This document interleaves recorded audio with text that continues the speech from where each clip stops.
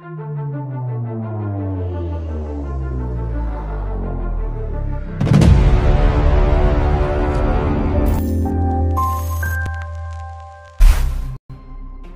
Budaya cop parking bukan sahaja salah di sisi undang-undang, malah ia bakal menyusahkan orang lain serta membahayakan diri sendiri.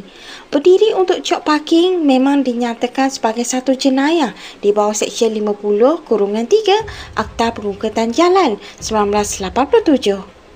Pada Rabu lalu, itulah video memaparkan seorang wanita yang cuba cop parking di satu kawasan parkir.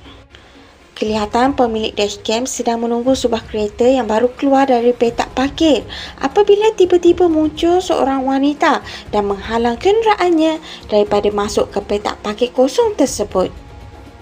Aksi wanita itu yang terus berdiri sambil tangannya menyuruh pemilik video beralih ke tempat parkir lain turut menjadi perhatian. Oleh kerana tidak mahu terus bertelagah, pemilik video telah beredar dan meletakkan kenderaannya di petak lain.